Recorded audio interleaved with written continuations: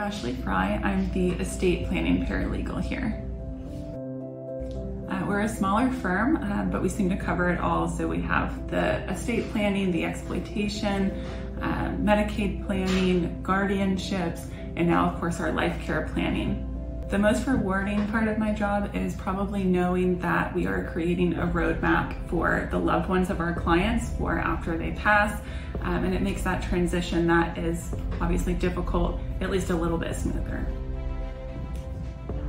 The best compliment that I've received so far was uh, one of the first trust clients that I had, they took the time to write a personal letter and send it in about how helpful it had been to work with me on the drafting of their trust, but also on the funding side of it.